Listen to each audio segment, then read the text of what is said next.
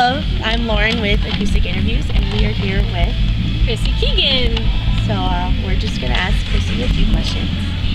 So, uh, who are your musical inspirations? Oh man, so many. But first and foremost, Samantha Crane. Um, that's a new name maybe for a lot of you, so check her out. She's my first and foremost influence. I also love Ingrid Michaelson. Um, those are probably the top two. Samantha Crane kind of takes it all. yeah. Um, so, what's your? Uh, how did you start getting into music? I started. I took piano lessons. I started when I was in first grade, and I've pretty much been singing my whole life. I didn't pick up the guitar until like eighth grade. Um, well, I'm talking to the camera, not you. you can talk to the camera. You can talk to me. It doesn't matter. so yeah, that's where it started um, back then, and I've just kind of done it ever since. Great. That's that's actually a very long time.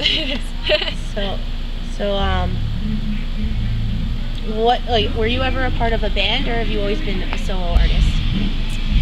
Oh man, pretty much solo. Um, I've had bands play with me um, here and there, and I was part of some like short-lived ones, I guess, but never any that really did much. Yeah. um, but yeah, it's mostly been just me.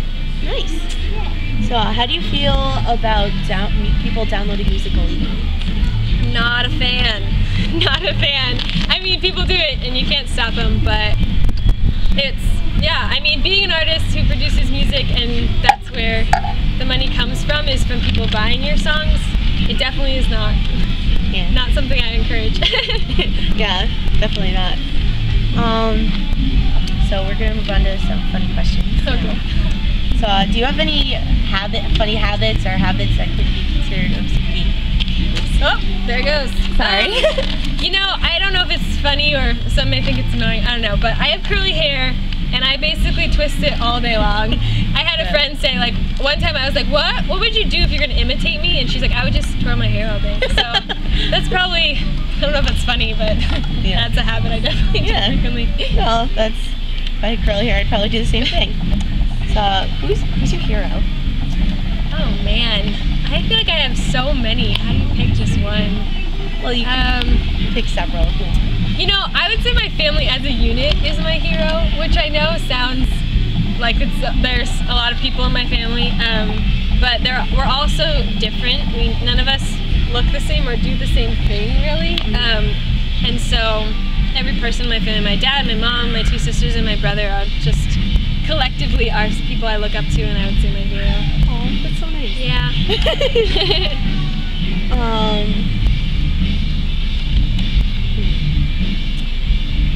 What's your favorite cartoon? Man, I don't know if I've watched cartoons in a long time. Well, it could be from when you were a kid. Oh, like think back. I always loved Chip and Dale. I have we had this old VHS of Chip and Dale, Very good. and that was I would probably I don't know if that's my favorite, but that's the first cartoon I could really think of that came to my head. Yeah. So Chip and. Dale. That's definitely a good one. Yeah. So, um, what is the happiest memory you have so far in your life? Ooh. You know, that's a hard one too. um, happiest memory. Man, I don't know if I can just pick one. Or what's Let's one see. really good memory that you have so far in your life? Like one that really stands out, like a family reunion or like a party or something that you remember? Yeah. Um. Shoot. it's a real long interview now. Oh gosh. You can't pick just one. We could ask. I could ask you. a Maybe different it's a question. different. I mean, there's lots. I'm sure I can think of one, but it's like most. I don't know. I have a lot of happy memories. Let's say that. Well, that's good. That means you're a happy person. Yes, I am. If you haven't noticed. So, um, one last question. Yeah. Um, do you have any plans for the future or anything you would like to promote to our viewers? Hmm. The future are very ambiguous right now. I don't really know besides just continuing to write music and and stuff. Um, so I guess the plan is just to figure out what the plan is. Um, but I will hopefully will write songs the rest of my life. Um, maybe my hope is to actually use songs to help people.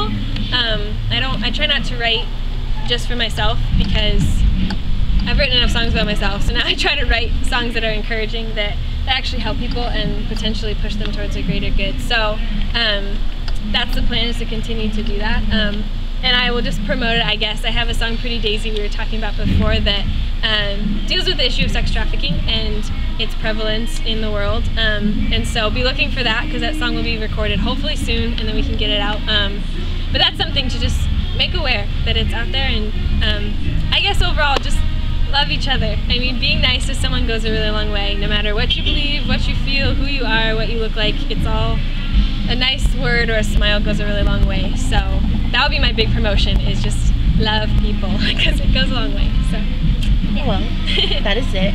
Thank you very much for your time. you're welcome. Thank you.